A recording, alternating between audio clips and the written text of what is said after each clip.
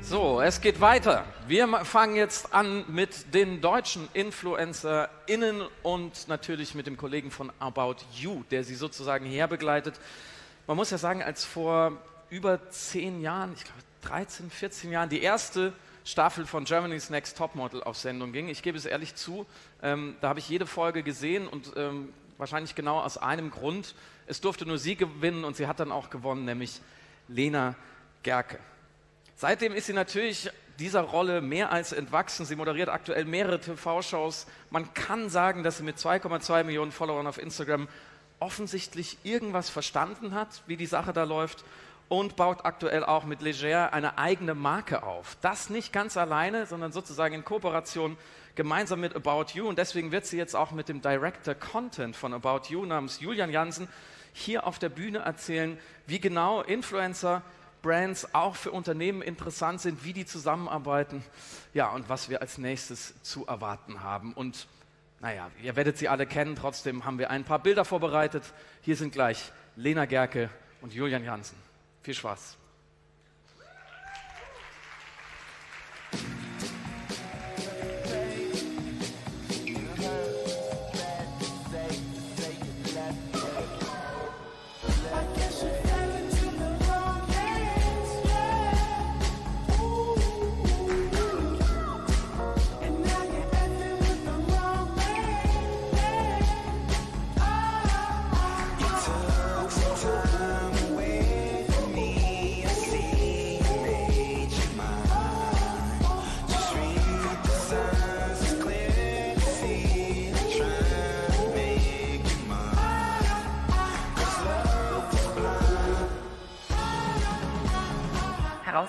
Ist deine DNA, herauszufinden, wofür steht diese Marke.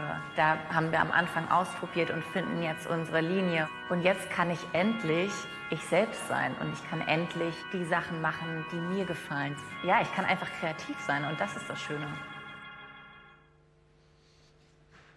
So, jetzt wäre der Zeitpunkt, Lena und Julian, wo ihr auf die Bühne kommen könntet. Ich kann euch sagen, die Hütte ist voll. Oh da sind God. sie. Hallo. Hallo. Moin. Hi. Na? Oh mein Hi. Gott, das habe ich nicht erwartet. Wir Ja, hatten so haben einen wir- kleinen Screen da hinten und man hat nur so die ersten fünf Reihen gesehen, aber nicht die. Gut. Ja, weil Ja, wir wollen ja nicht, dass ihr Wir haben extra werdet. noch Franzbrötchen verteilt, damit die Leute kommen. Ihr wart da. Ja, ja, ja. Habt ihr Franzbrötchen gekriegt? Ja. Gibt's noch welche? nee. Ja, aber es, es waren schon ein paar, oder? 1200, 1400? Ich habe Äh, unglaubliche 1200, Zahl ja, gehört. 1200 Ja, das klingt. Wir dachten, keine 3000 Kostenmühen passen irgendwie rein, 1200. Nicht schlecht, sehr gut. Wir machen ein kleines Frühstück. Wollen wir uns setzen? Ja. Sucht euch einfach zwei Plätze aus. Wir haben besprochen, dass ihr heute bestimmen dürft. Wohin? Es ist so ruhig hier. Wow. Ja, die sind alle super gespannt. Sag mir, Lena, zu Anfang Hand aufs Herz, was war cooler, Coachella oder die About You Awards? Wo war mehr Spaß? Okay, das ist jetzt schwierig für mich zu beantworten. Hallo. Sei ehrlich, sei ehrlich. Ähm, nein, ich habe in Coachella einen äh, mega coolen Roadtrip gemacht mit BMW, das war toll. Aber ich persönlich bin kein Festivaltyp. Ähm, deswegen muss ich auf jeden Fall sagen, About You Awards, ich habe, ähm, glaube ich, den Laden zugemacht um halb vier. Bin dann noch weitergezogen mit ein paar Leuten. Also es war auf jeden Fall, es ist immer eine mega Party, es ist eine super coole Show. Das ist wie Familientreffen, weil man kennt wirklich fast jeden, der dort vor Ort ist. Mein Mikro macht so komische Geräusche, ne? So. Ähm, aber es war äh, lustig, war total lustig. Und ihr seid eh wie Family für mich, deswegen macht das immer Spaß. Also ihr seid auch richtig eskaliert. danach. Wir sind richtig eskaliert, eskaliert, definitiv. Ja, weil man manchmal so hört man ja so, gerade vielleicht in der Film- und Fernsehbranche, dass die Partys total überschätzt sind hinterher. Und das tut mir dann immer wahnsinnig leid, weil es ist ja auch Arbeit für euch und für, für die Gäste. Und Aber die ich kommen hin und sehen gut ja. aus und dann will man auch eine gute Party. Und bei dieser Party muss ich sagen, ich habe noch nie so viele Anfragen bekommen von Freunden von mir, die auf diese Party wollten. Und ich glaube, die Gästeliste ist geplatzt bei euch, ne? Ja, Das war auch deine Antwort. Ich habe ich hab Lena so im Anschluss irgendwie geschrieben, ja, vielen Dank, dass du da warst und es war so toll. Und also, dann meinte sie, also Julian, wirklich, das, das erste Kriterium, dass so viele Leute mich angefragt haben nach Karten, die Party muss perfekt gewesen sein. Ja. Und äh, das ist auch immer unsere Challenge, ne? dass genau wie du sagst, dass die Feier im Nachhinein, dass es ein paar Überraschungen gibt, dass es ein paar Ja. Auftritte gibt, dass man die Leute bei Stimmung hält. Es sind ja viele Businesskunden da, auch viele prominente Personen, die natürlich zu connecten. Ja. Das ist Ja. immer so der Anspruch. Okay, das zweitwichtigste nach der Party ist natürlich das Business. Und da kannst du uns vielleicht ein bisschen erzählen, wie das denn so sozusagen hinter den Kulissen für euch abgelaufen ist. Hat sich das gelohnt? Die äh, About You Awards haben sich, haben sich sehr gelohnt dieses Jahr. Letztes Jahr ja auch schon. Ähm, wir hatten so ein bisschen uns die Challenge gesetzt. Letztes Jahr hatten wir so ungefähr zwei männliche Zuschauer bei der TV-Show. ähm, Gebe ich dieses- ehrlich zu, ich war es nicht. ähm, das äh, haben wir uns auf die Fahne geschrieben, dass wir das dieses Jahr ändern wollen. Ich Das weiß, haben wir es waren geschafft. Paul und Joko wahrscheinlich. Ja, stimmt. Genau. Richtig. Direkt einen davon eingekauft. Beide mit der Box zu Hause. Sorry, ich wollte dich nicht unterbrechen. Ähm, und äh, das haben wir geschafft. Die haben wir 40 Prozent gesteigert, die, die männlichen Zuschauer, wahrscheinlich durch den Hängen. 40 40 Prozent von zwei? ja. Weiß das jemand? Okay, ist gemein. Ähm, und äh, das hat schön funktioniert. Wir sind, ähm, wir sind auf einen ganz verrückten äh, Media-Wert gekommen. Wir haben, wir haben über 1,52 Milliarden Medienkontakte äh, mit der mal, 1,52 Milliarden. Ich Milliarden. habe Milliarden gehört. Ja, Okay. das, das, da müssen wir uns selber noch so ein bisschen kneifen. Das sind auch keine ausgedachten Zahlen oder irgendwas. Wir haben jetzt äh, Ende der letzte Woche das, das Reporting gemacht und, äh, und das ist halt gigantisch für uns. Und da merken wir natürlich, okay, das kommt an. Wir werden irgendwie erwachsen mit der Show, ähm, finden, da, finden da unseren Platz in der Influencer-Welt und, äh, und das ehrt einen schon sehr und macht, äh, ermutigt einen weiterzumachen und es noch größer zu denken und immer wieder neu Ja. zu denken. Und das Und es haben ja auch immer viele vorher versucht, ne, eine Show in, ins TV zu bringen, Ja. Mit Influencer, mit Social Media, diese Welten zu connecten. Und ich glaube, ihr seid die Ersten, die das wirklich geschafft haben, weil ansonsten ist es tatsächlich immer gefloppt. Ja, das stimmt. Das ist auch der Anspruch, dass wir eben sagen, okay, wir wollen eben die klassische Promi-Welt, sage ich mal, mit den Influencern verbinden ähm, und daraus eine, eine Synergie bilden. Und äh, ah, das war dieses Jahr auch wieder sehr schön. Also du lächelst breit und ähm, es gab ja durchaus auch Kritik an den Awards, das Ja. muss man ja nicht verschweigen, aber ihr seid zufrieden. Unterm wir sind Strich sehr zufrieden. Plus. Wir sind sehr zufrieden. Ähm, äh, Es natürlich, gibt immer Kritik. Genau, immer. natürlich, Egal, natürlich gab es, gab es viele Stimmen. Auch letztes Jahr war es, sind wir relevant genug, wo wir, wo wir sehr dran gearbeitet haben. Ähm, und auch dieses Jahr, ich glaube, wenn man einen Influencer Award in Deutschland macht, dann setzt man sich schon so ein bisschen ins Brennnesselbeet, äh, weil Influencer nun auch nicht Nackt. dafür äh, bekannt sind, sage ich mal, ähm, mit der Meinung äh, zurückzuhalten. Aber ähm, das ist uns bewusst und das wollen wir auch. Wir wollen, dass darüber gesprochen wird. Wir wollen, dass darüber diskutiert wird. Äh, sind ganz dankbar über jede, jede kritische Stimme als auch jede positive Stimme. Ähm, und deshalb werden wir das immer weiter führen, jetzt im vierten Jahr dann nächstes Jahr und das dann weiterhin perfektionieren. Sehr gut. Lena, du hast eben schon erwähnt, mit BMW äh, auf dem Coachella, About You ähm, ist auch dabei, sind ja nicht die einzigen Brands. Gibt es für dich so ein Gradmesser, wie du entscheidest, mit wem du zusammenarbeitest? Kommt das eher aus dem Bauch? Worum geht's da? Ähm, also es geht eigentlich nur darum, ob die Marke zu mir passt und ob ich Lust darauf habe. Und ähm, ich glaube, das Wichtigste ist, sich zu fragen, wenn man in der Öffentlichkeit steht, was möchte ich eigentlich nach draußen darstellen oder wer, wer bin ich, was möchte ich zeigen von mir und wie kann ich vielleicht auch andere motivieren, irgendwas zu machen. Und äh, die Partner, mit denen ich zusammenarbeite, das sind alles langjährige Kooperationen und das sind alles ähm, Menschen, die ich privat auch total mag. Weil es, man sagt ja immer eigentlich so, ja, im Business ist das nicht so wichtig, dass man sich mit Leuten versteht. Für mich ist es das Gegenteil. Ja, oh doch. Ja, ich, ich brauche, also ich kann nicht so straight sein oder so. Ich brauche irgendwie das Gefühl, das sind Freunde und das ist eine Familie und man hat gemeinsam Ziele und das war auch bei unserer Kooperation das A und O. Julian kennen uns eigentlich schon, wir kennen uns eigentlich vom TV von vor etlichen Jahren. Jahre? Ja, von vor zwölf Jahren und ähm, deswegen war das Verhältnis von Anfang an ein ganz anderes. Die Basis war einfach anders und das ist mir wichtig, dass die Kunden, mit denen ich zusammenarbeite, wirklich ähm, nett sind, mit denen man auch hier abends mal ein Bier trinken gehen mag, ne? Und dass es nicht nur business-related ist und ähm, man dann gemeinsam was Cooles schaffen kann. Ja, die Branche ist auch in Deutschland wahrscheinlich zu klein, oder? Man trifft ja, so wie bei euch, immer wieder die gleichen Leute. Wenn man sich da nicht versteht, Ist ja furchtbar. Schwierig. Ist schwierig. ist auch wirklich schwierig. Und es ist natürlich auch dankbar, wenn man, wenn man dann natürlich ähm, so eine Ko Kooperation oder so eine freundschaftliche ähm, Partnerschaft aufbaut, wo man einfach schnell exekutieren kann, ne? wo man nicht ewig lange politische Wege oder Diskussionen über Management und Ja. sonstiges führen muss, sondern dass man Ja. schnell irgendwie einmal per WhatsApp oder Ja. ähnliches, natürlich nicht am Management vorbei, aber ähm, schnell mal irgendwie eine Idee bringt und dann auch Ja. in einem Monat die Dinge, äh, da- das Ding umsetzt. Also so läuft das auch bei euch. So sind so viele Sachen bei uns entstanden eigentlich. Also die, die Weihnachtsidee ist entstanden. Wir haben ja immer eine große Christmas Party. Dann war ich letztes Jahr an Weihnachten, saß ich zu Hause bei meiner Familie, in meinem Kinderzimmer in Kloppenburg mit meiner Mutter. Und ähm, irgendwie war mir ein bisschen langweilig, ne, weil die Feiertage sind auch nicht immer so spannend dann zu Hause.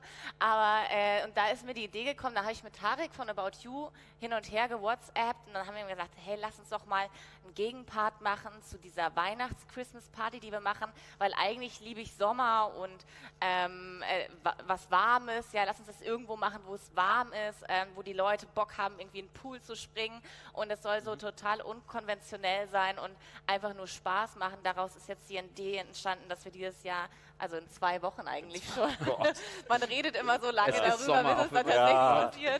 Ja, ähm, in Cannes machen wir so eine Wellbeing, so ein Lunch ähm, tagsüber. Da haben wir da so ein ganz tolles Haus mit einem Pool und allem. Und äh, das passt einfach auch zu uns, zu Leger. Ähm, und das ist dann halt einfach an Weihnachten entstanden. Und so entstehen die wildesten Ideen eigentlich immer. Ne? Wir sch schicken auch oft hin und her. Oder wenn wir shooten, haben wir auf einmal eine neue Idee. Wir verwerfen dann auch wieder was. Aber äh, ganz viel Cooles ist schon dadurch entstanden. Und ganz viel eben challengen, ganz viel Ja. ausprobieren, schnell ausprobieren, schnell auf den Markt werfen. Wenn wir irgendein Kleidungsstück oder irgendein Trend, was Lena sagt, Ja. Entwickeln wir relativ flotten Proto, ähm, den ersten Style, werfen ihn auf den Markt, gucken, funktioniert er, okay, reordern ihn, machen den Ja. nächsten Drop. Ist das, ist das so die übergeordnete Strategie auch wie Leger, wenn du sie definieren würdest?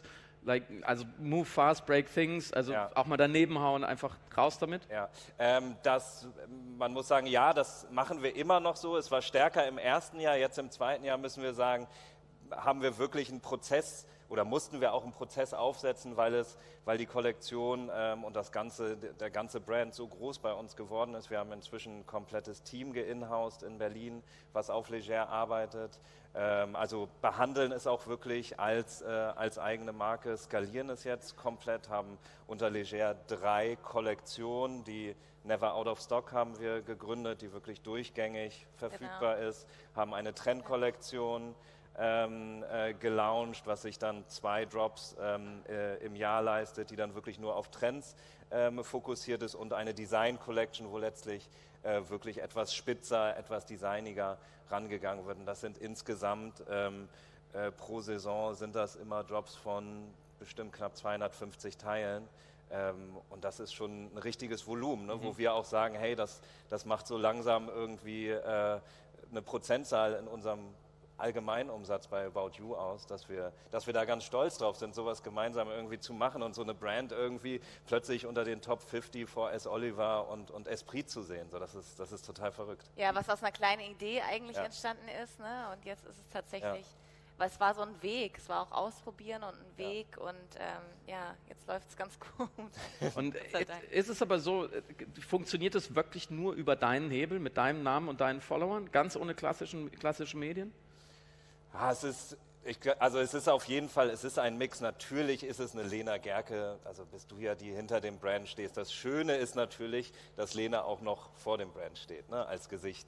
Was wir uns natürlich, was, was, wir, was natürlich auf uns abstrahlt, was ganz stark ist. Aber Ziel von uns ist es auf jeden Fall, den Brand aufzubauen und den Brand natürlich mit der Personality zu verknüpfen, weil da geht es heute hin. Ich meine, wir müssen nur die, die, äh, äh, die aktuellen Artikel lesen, wie, wie andere Brands unter Personal Brands leiden ähm, heutzutage. Und Ja, die ganz große Goldgräberstimmung ist vorbei. Kann man das so sagen? So der wilde Westen des Influencer-Marketings, wo die Preise so, wo man nicht wusste, wo, wo kann es noch hingehen, es dämpft sich so ein bisschen ein. Drückt das ist was anderes. Das ist nochmal ein anderer Schnack. Ich Ja. glaube, der ist noch nicht so ganz vorbei. Ich glaube, es ist, wenn man jetzt mit einer Lena natürlich, aber das ist kein Influencer-Marketing, ist das ist ja wirklich ein Teil von unserem, von unserem Marketing-Mix mit Lena. Ne? Also das ganze Projekt, was wir machen, sei es mit Events, ähm, sei es mit einem Brand, sei es mit Posting, sei es mit Shootings und Co., das ist ja ein, ein komplettes Paket und das ist jetzt in Deutschland kenne ich es nicht, wer das so professionalisiert aufgebaut hat und so eine Personal Brand wie Leger aufgebaut hat. Deshalb, das ist eher eine Ausnahme. Beim Influencer-Marketing bin ich eher noch dabei, dass es, dass es schon noch wilder Westen ist und da noch viel rumschwirrt in der Ja. Welt. Was waren die merkwürdigsten Werbeanfragen, die du jemals gekriegt hast? Du musst keinen Namen nennen, aber vielleicht kannst du es umschreiben.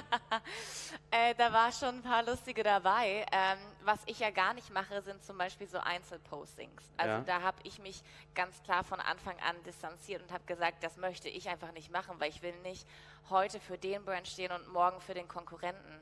Ähm, das finde ich auch unauthentisch und das finde ich auch nicht ehrlich und gerecht dem Kunden gegenüber.